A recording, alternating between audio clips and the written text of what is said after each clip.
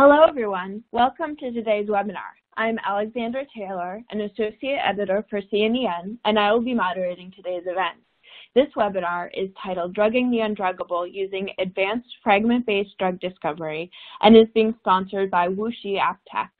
CNN works with sponsors to identify topics of interest and value to CNEN's audience and consistent with CNEN's mission to provide news and analysis of the chemistry enterprise in a timely, accurate, and balanced fashion.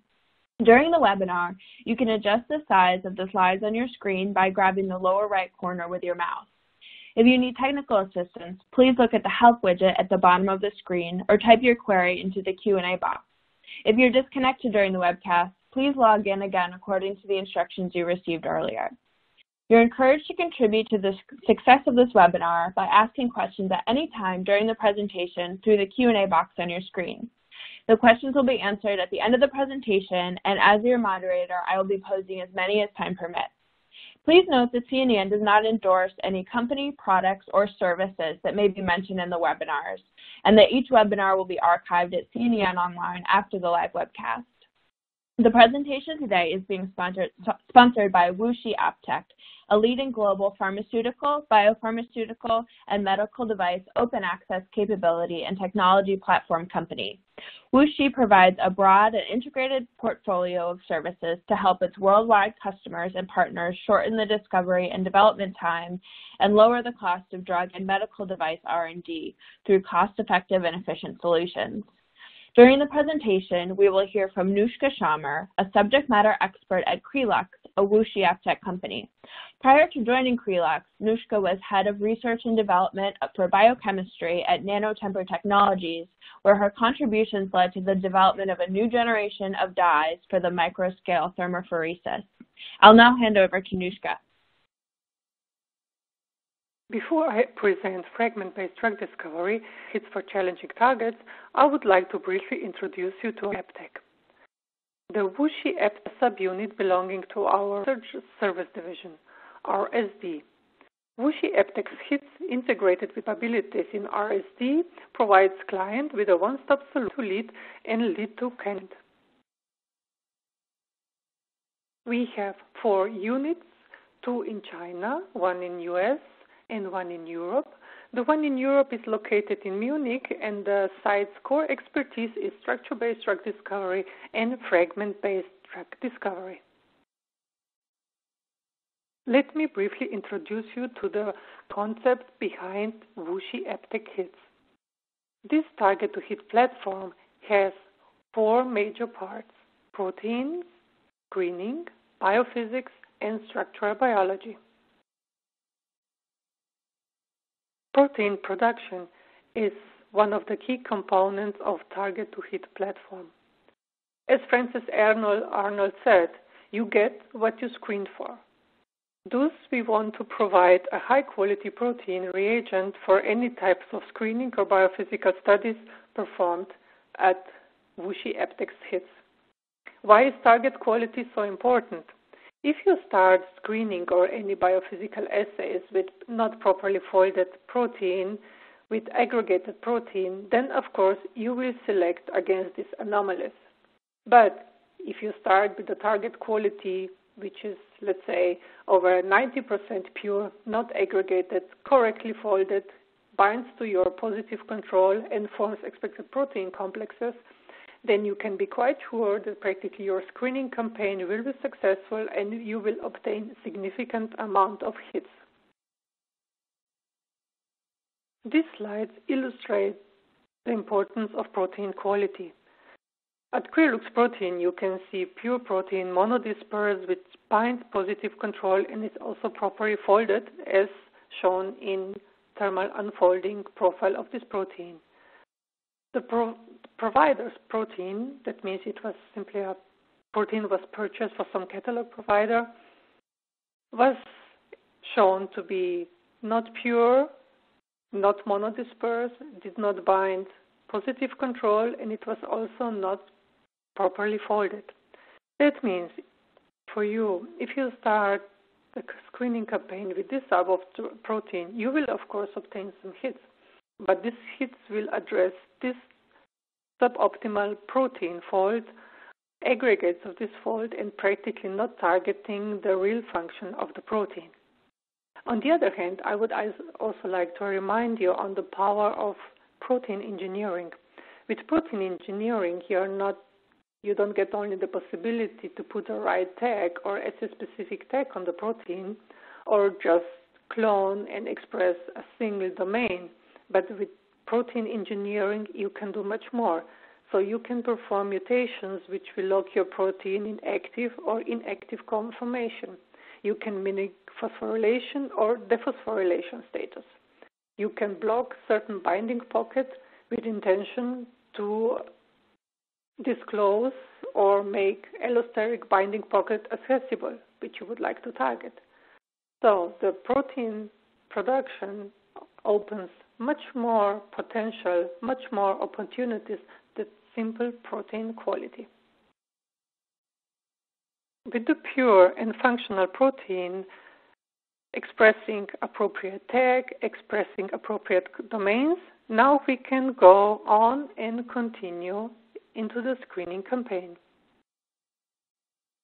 The core of screening platform at WuXi AppTec Hits are fragment and DNA encoded libraries.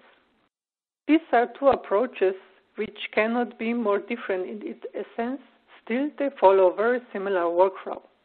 Let's start with fragment screening. So for fragment screening, we start with the fragment libraries, which contain only a few thousand of fragments. So let's say 1 to 3,000. In these fragments, we can go and call fragment screen, which can be either SPR, surface plasmon resonance based, microscale thermophoresis, X-ray crystallography, or NMR. As you see here, we need very powerful, very sensitive biophysical assays. At the end, we have a bucket list of hits, and with this bucket list, we go to hit confirmation, where we confirm the hits using various biophysical and biochemical orthogonal assays. DNA encoded library screening, on the other hand, contains a very large amount of compounds in the libraries. Currently, we have over 80 billion compounds. These compounds, they go first to affinity screening, and with the lists or so-called enrichment from this screening, we follow up this with off-DNA synthesis, and these compounds go then into the hit confirmation, where again we use biophysical and biochemical orthogonal assays to confirm the hits. If you would like to learn more about DNA encoded library screening, then I kindly invite you to check CNN webpage. Under past webinars, you can find a webinar from my colleagues Alex Zatz about self-service DNA encoded library screenings. I warmly recommend this webinar. At the beginning of each drug discovery campaign, we have to answer the question which screening approach to select. And the answer is actually always the same. It depends. But this uh, answer is, of course, not satisfying. Bottom line is the target protein and the drug discovery campaign goals steer the selection of a screening approach. If we just compare here DEL screening with fragment screening, the advantages of DEL screening are low protein consumption and the fact that billions of compounds can be screened in a single ependyl tube. This approach is actually highly recommendable if you want to identify some tool compounds fast. And what are the limitations?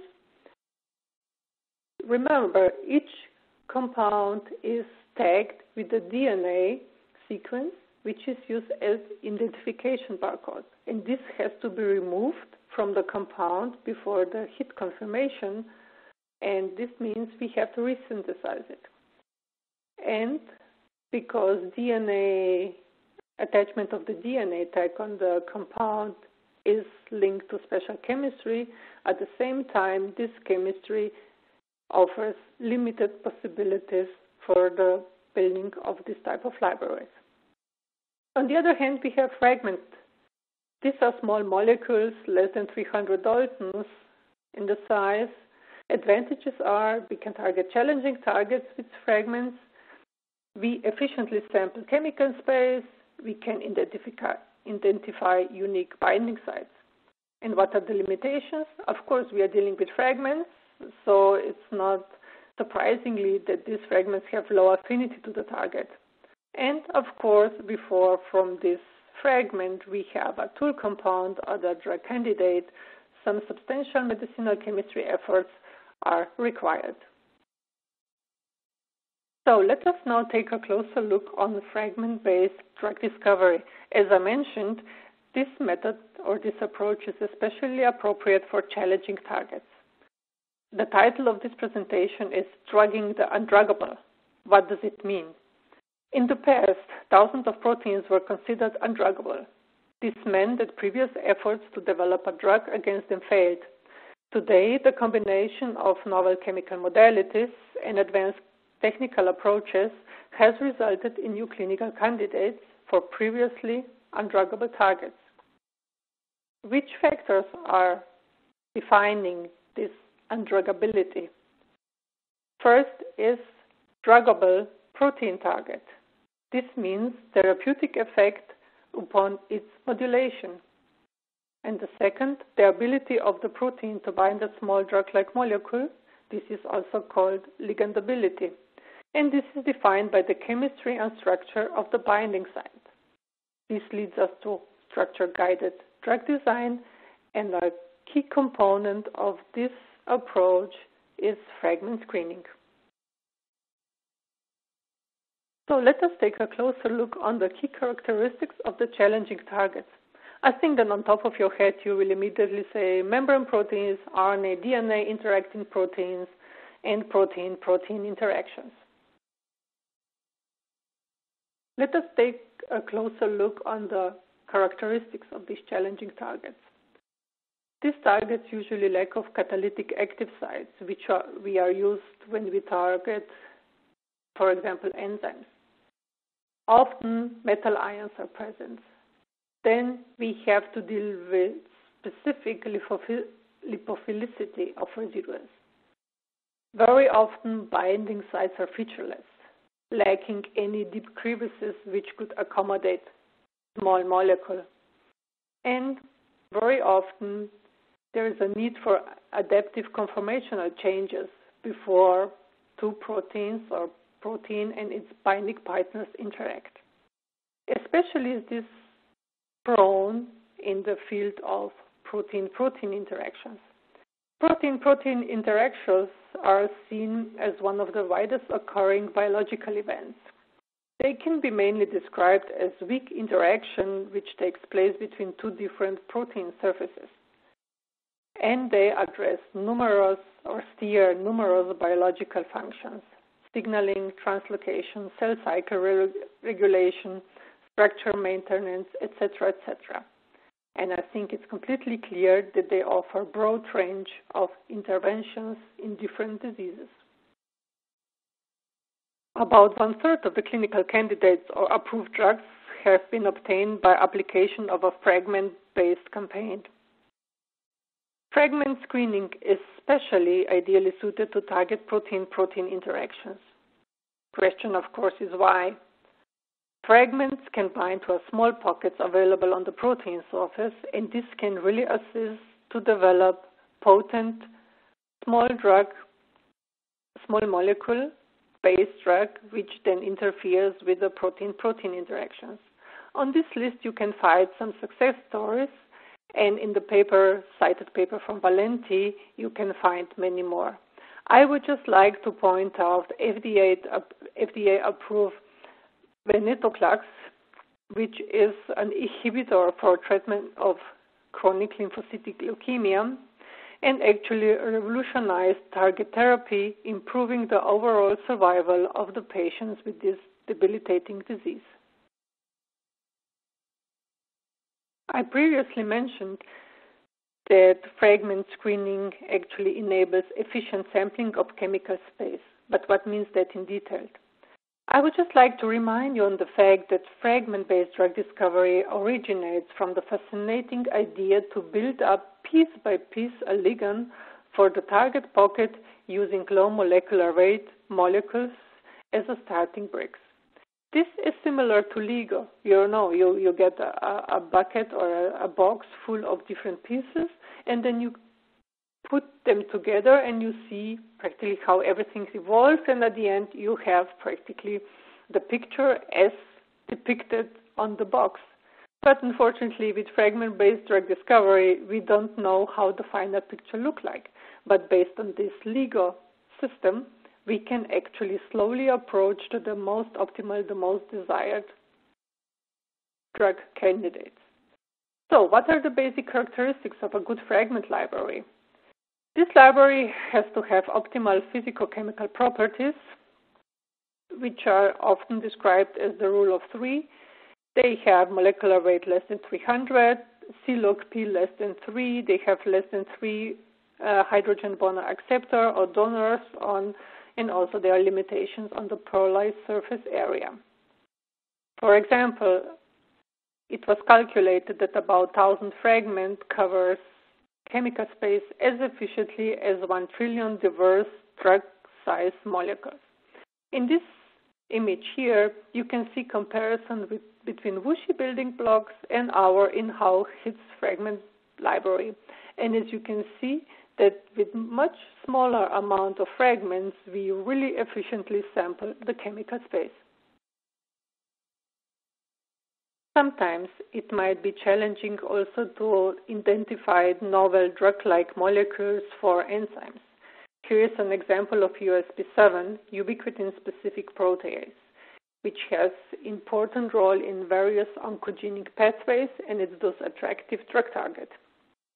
NMAC Discovery decided to use fragment screen to tackle these challenging targets.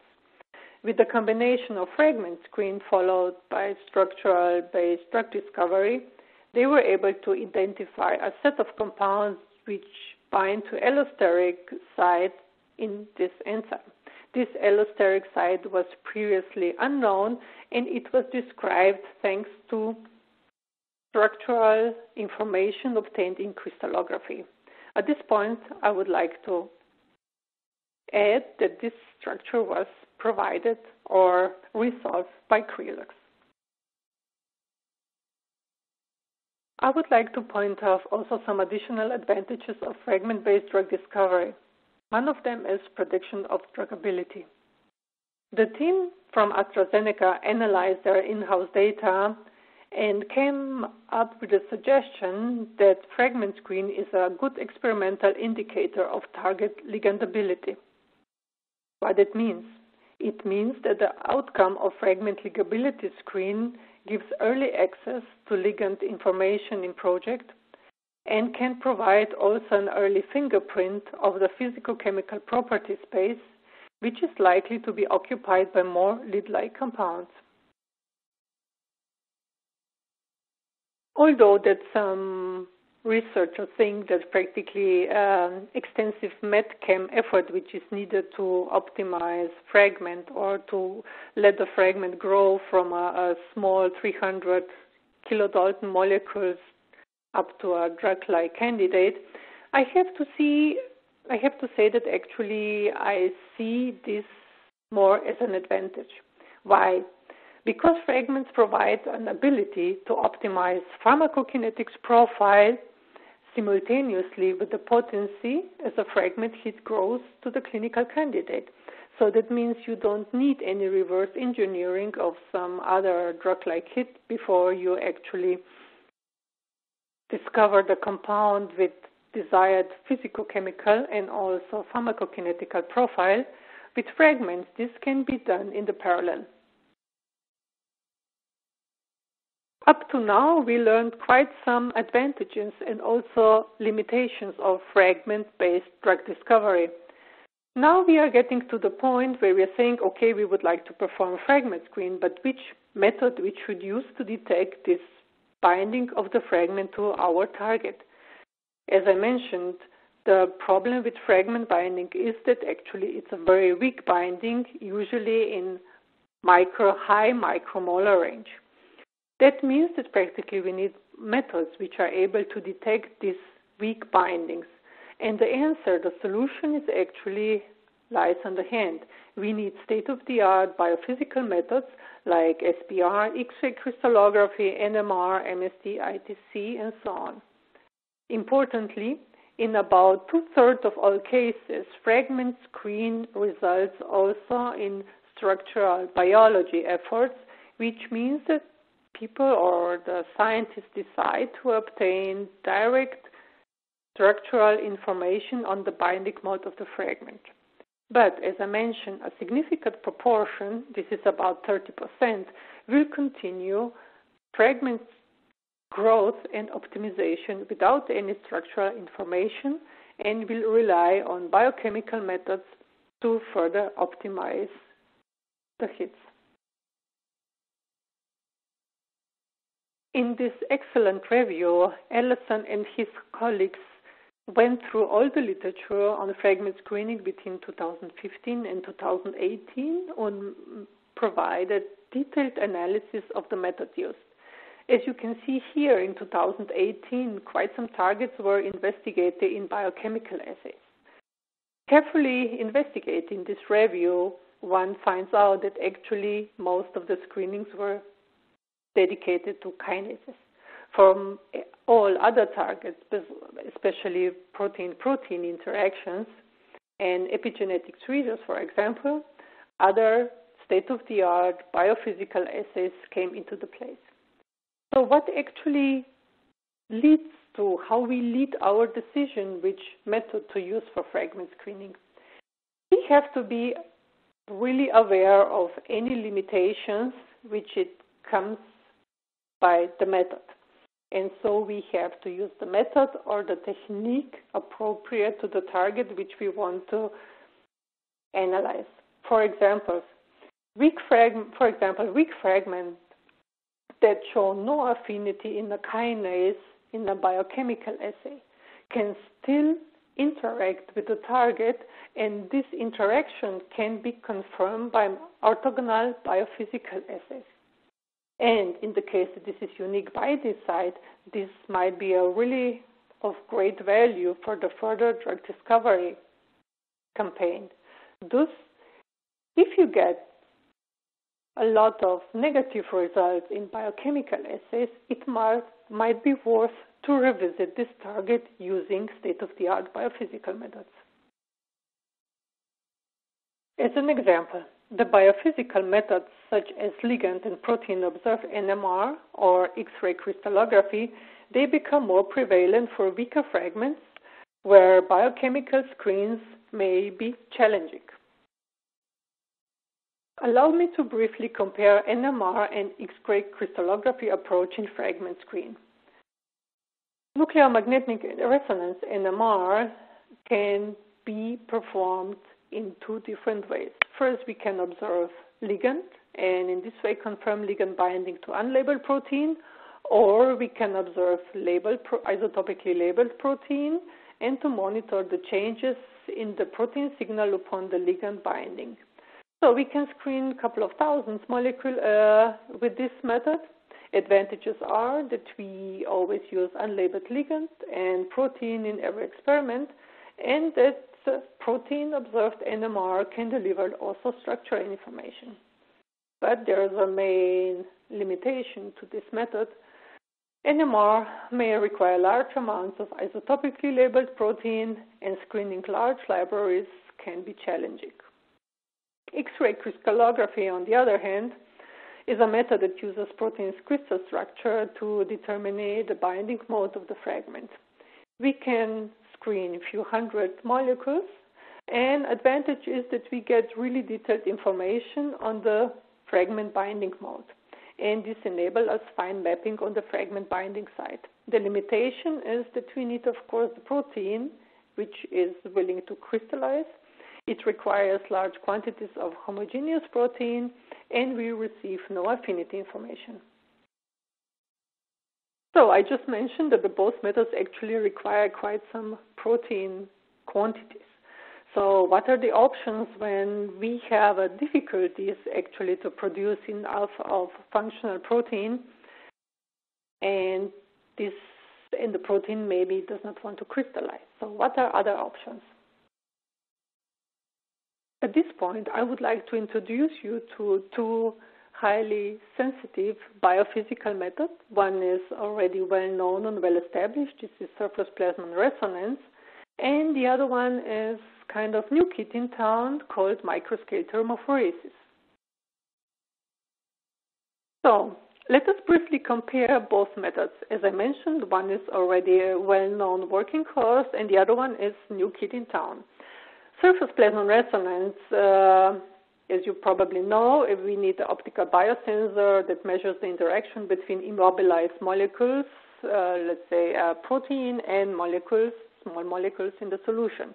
We can analyze few thousand uh, molecules in this case, and advantages of SPR are well known. So it's like low protein consumption, high sensitivity, and we can very accurately measure affinity and kinetics.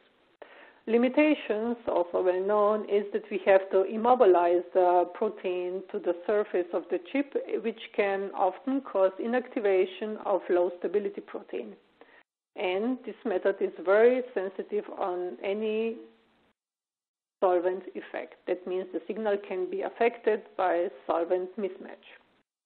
Microscale thermophoresis, on the other hand, is a new kid in town now already about 10 years on the market, but it's actually just getting into a screening, in fragment screening and screening in general.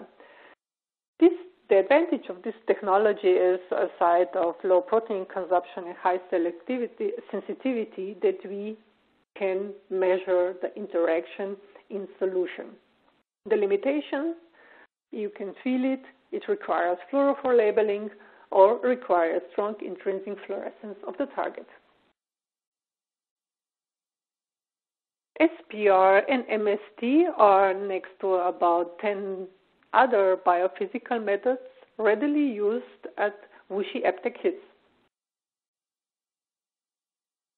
Here, I would like to introduce you microscale thermophoresis, a novel method for fragment screens.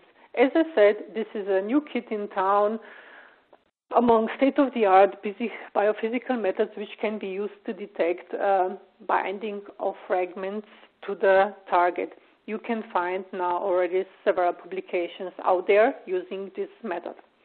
So what is the basic principle of this technique? In this technique, a variation in the fluorescence signal is detected, which is a result of temperature gradient induced by infrared laser, as shown on the picture B. The extent of variation in this fluorescence signal correlates with the binding of a ligand to fluorescence target. And this is depicted on the picture C. And of course, now we get back to the point fluorescence labeling of the protein. Similarly, as immobilization of the protein to the surface, also in SPR, also the labeling using classical NHS or Mallet chemistry can have some significant effect on the protein. Thus, the influence of the labeling on the protein has to be investigated or determined upfront. But to avoid this type of significant uh, influence of the dye or the labeling on the screening, Nanotemper developed special site-specific labeling. This labeling uh, relies on the presence of his tag, which is otherwise very often used in the protein production process. This his tag is readily recognized by the dye, which is called red tris NTA.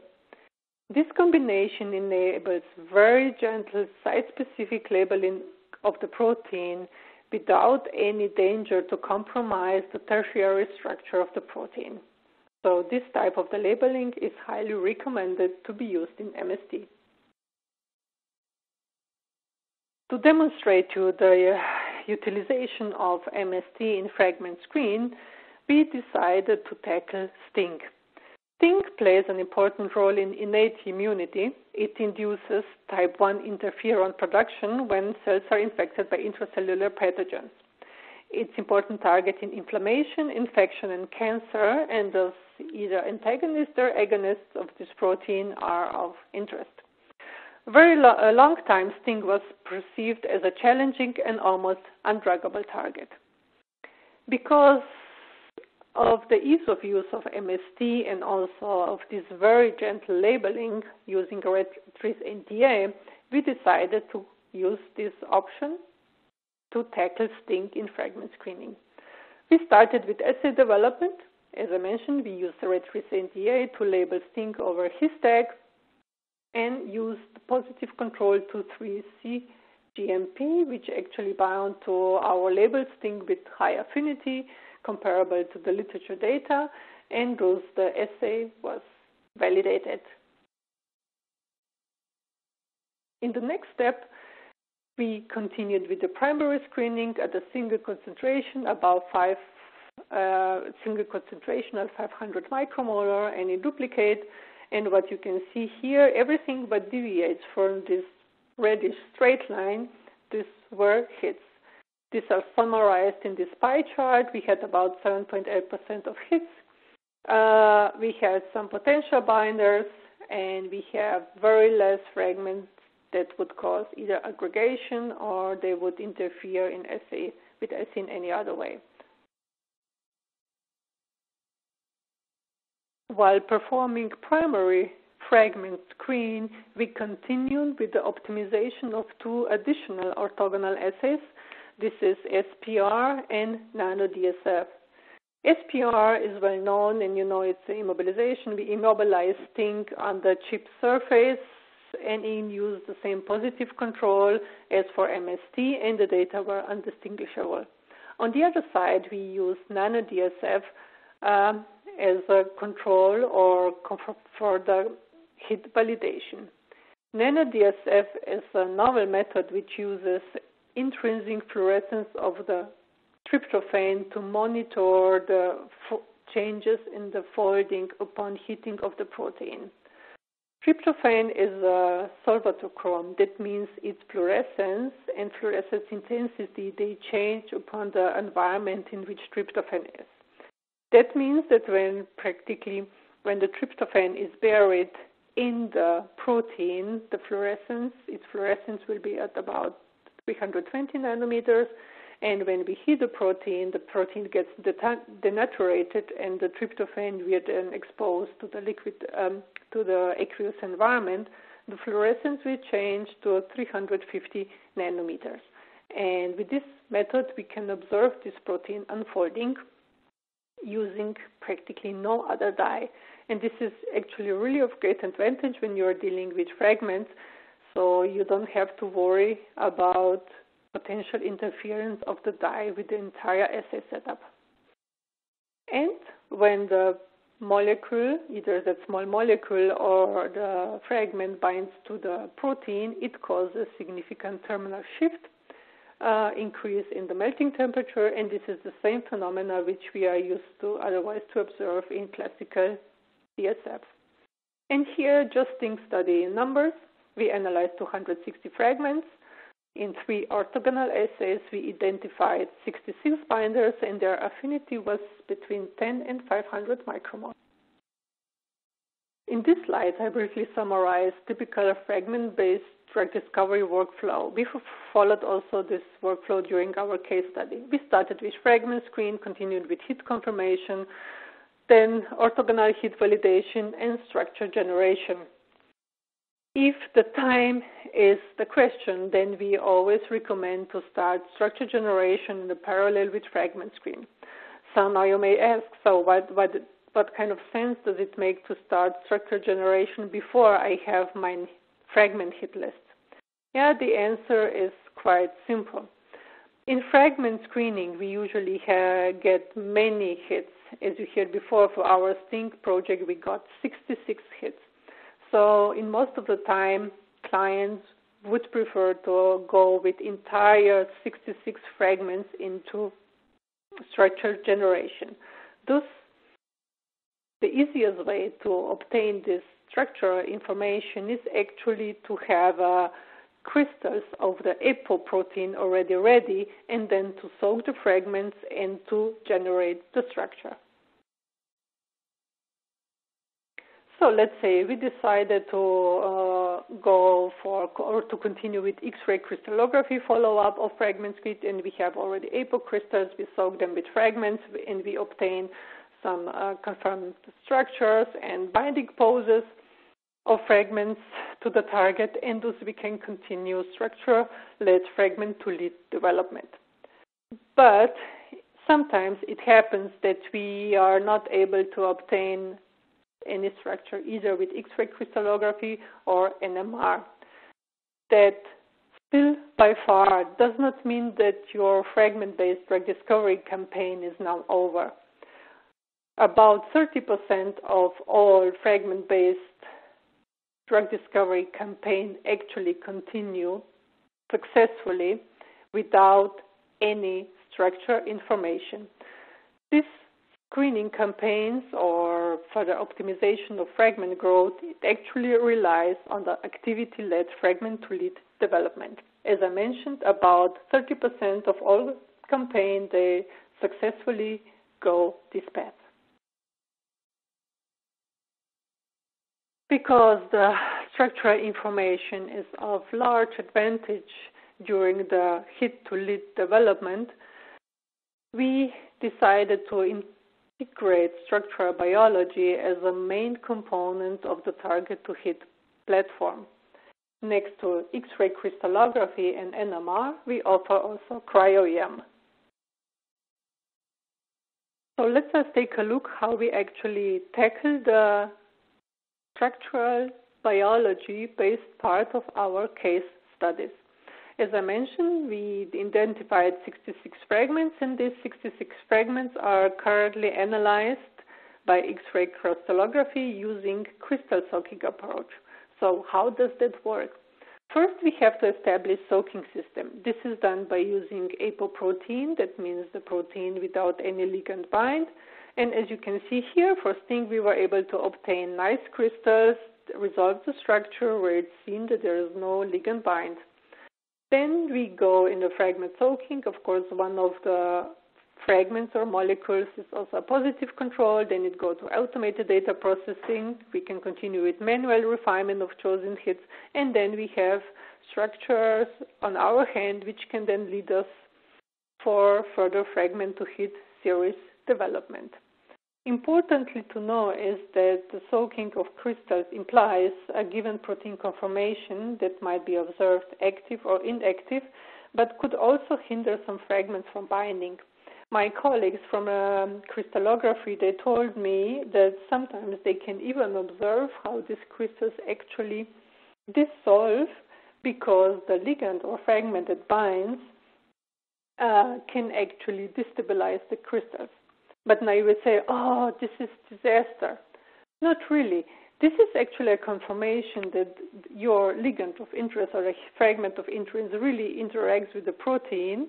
And now our colleagues at crystallography, they can use this ligand to co-crystallize it together with the protein and obtain the structure in this way. During my presentation, I mentioned that various biophysical methods can be used for fragment screen. One of them was also X-ray crystallography. This can be used as standalone option too. Uh, so how that actually differs for, uh, from the approach which I just described for our case study? Very less. In both cases, we first have to produce high quality crystal grade protein and we have to establish soaking system. That means we have to obtain crystals of the apoprotein. Um, we have to make sure that these crystals are not too sensitive on the DMSO and then we can continue with fragment soaking. In the meanwhile, we can think about the library selection. There are always different options available. Upon automated data processing, then if we are lucky, we have some hits available, which we can manually refine, and then again, we have excellent start point for structure lead fragment to hit series development.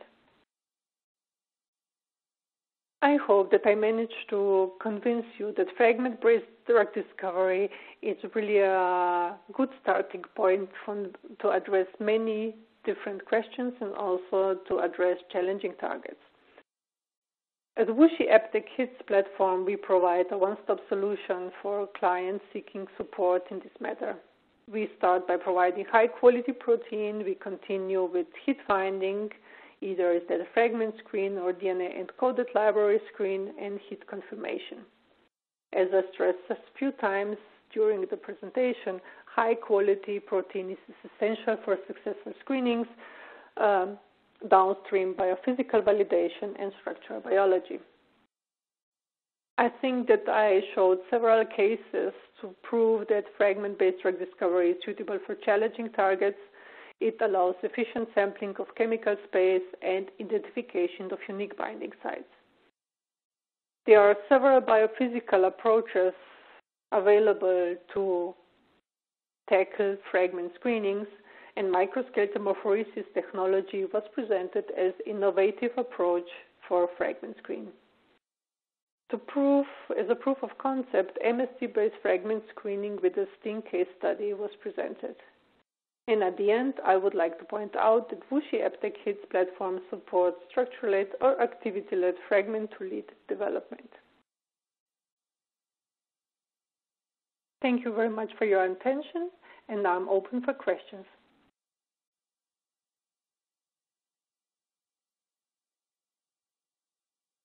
All right, um, thank you, Nushka, and um, we will move on now to the Q&A portion of the presentation. Our first question, uh, what is the dynamic range of MST?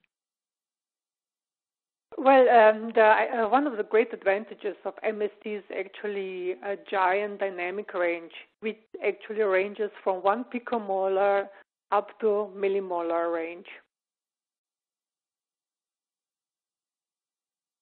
Can other purification tags, for example, biotin, be used to fluorescently label proteins for MST? And uh, can MABs work, for example, anti-flag or GST, or do they come apart in the IR beam? um, you, during practically when we test the different approaches in labeling of MST, we find out that practically small tag like his tag is the most optimal approach because then we can use really tiny dye or tiny dye complex that binds to uh, this region. When one uses, uh, let's say, fluorescently labeled antibodies which recognize special tag, then the changes of this binding complex upon the binding of a ligand is too small, and then the signal to noise ratio in MST uh, goes down. So this is actually um, because of that reason we don't really then recommend to use, uh, let's say, antibodies or nanobodies for the labeling in MST. Are there any problems with fluorescence quenching? Sometimes, uh, would say occasionally, uh, honestly, I have to say it's rarely, uh, we observe uh, fluorescence quenching. Uh, it can happen, and it actually can have uh, two different reasons. First, reasons.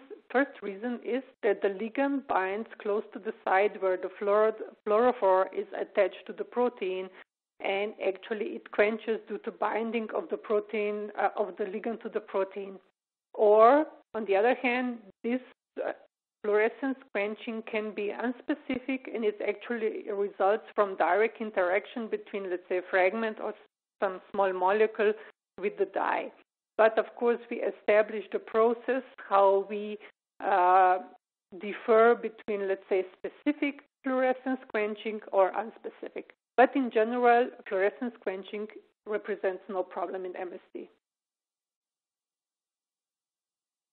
Which SPR instrument did you use for the STING fragment screening? Um, for this screening, we used the Biocore 8K instrument.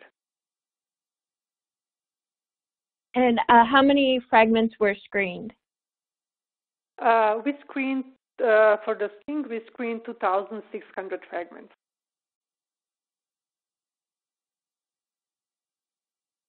What is the correlation of MST and other method, methods? So, um, depending on the target, the correlation can be very high or limited. But I would like to, to point out that actually, whenever you compare different methods, you see that actually only some part of the hits they actually uh, overlap. But what we regularly actually observe that depending on the method used, you you get additional hits depending on the method. So, for example, this is also a case uh, for the MST, where in MST we actually see some additional hits compared to SPR. Can fragment screening be used to identify protein-protein stabilizers? Um, so far, uh, not yet. And uh, how sensitive is the MST prone to false positive, um, such as uh, that caused by compound aggregation, pH change, etc.? Mm -hmm. Okay, this is a great question. Um, actually, this is uh, one of the advantages of MST that this measurement actually happens in solution. That means if the compound aggregates and causes uh, also protein aggregation, we see that immediately in MST traces, and practically this fragment or compound is then flagged as a potential aggregator. And then, of course, we can follow up uh, these stories. And of course, uh, we always uh, pay attention and make sure that the titration of the compound or the fragment to the buffer does not cause this pH gradient, which is, could be actually a problem also in any other method.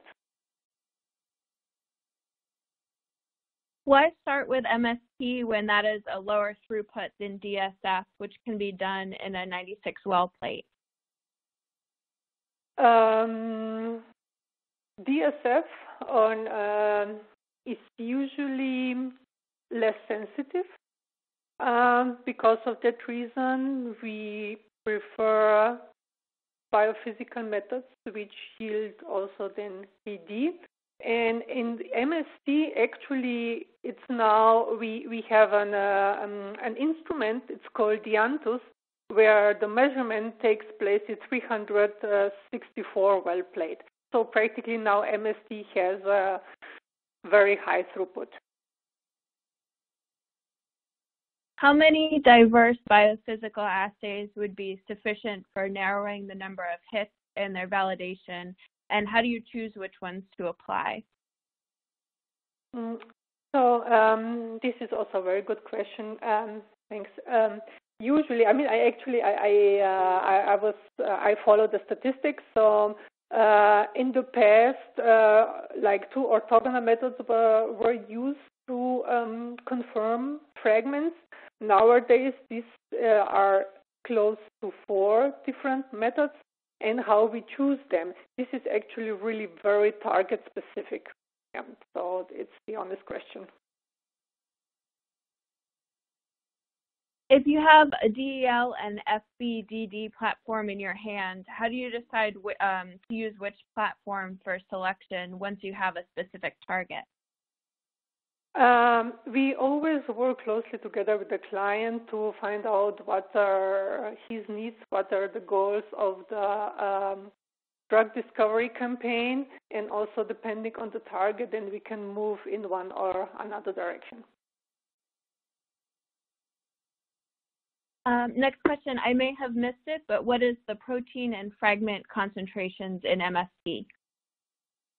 Um, in MST, practically in our case study, and this is also the concentration which, which, uh, which is most often used in MST, is actually 20 nanomolars of labeled proteins. Uh, sometimes this varies between 5 to 50 nanomolar, but we always keep the concentration of the labeled protein well below the expected KD. And this is, of course, in fragments uh, not uh, it's easy to achieve. Uh, for fragments, we actually we start the first screening at 500 micromolars. What is the advantage of FBDD over screening for bigger compounds? Um, so, um, as I mentioned, I mean, uh, at the beginning, we start with a much smaller library, smaller fragments, um, and of course, upon the hit list, we we we have uh, very open possibilities how we continue that practically with with with uh, chemical optimization. Fragment screening is often used for challenging targets and also very often when other screening methods actually did not work so well or not at all. So um, this type of um, so say challenging targets previously failed uh, screening campaigns. This is kind of the recipe for for for uh, fragment screening. Did I hear that you use DMSO as a solvent during screening? Have you considered other solvents? Uh, DMSO is actually our preferred solvent for the screening. Uh, during the opti assay optimization and uh, assay development, we closely monitor how DMSO influences also protein stability so that we are really fine-tuning then the DMSO um, concentration or final DMSO concentration. Um, so far, actually, we, it was not really a need uh, to, to test any other solvents. I know that some people like to, to use methanol or ethanol, but this because they are quite volatile, this can influence then the, um, um, so to say, the concentration which is actually applied, and then this might be um, not so precise. So the, because of that reason, DMSO is our preferred solvent. Does PFA salt have any effect on the MSP method? Uh, excuse me, can you please repeat the question? Uh, does PFA salt have any effect on the MSP method?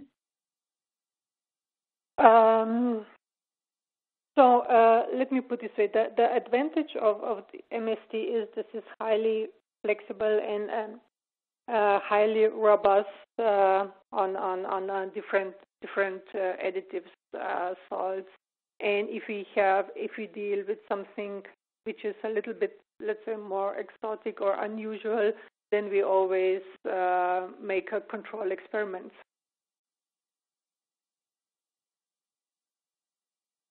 Does MST work well with PROTAC development?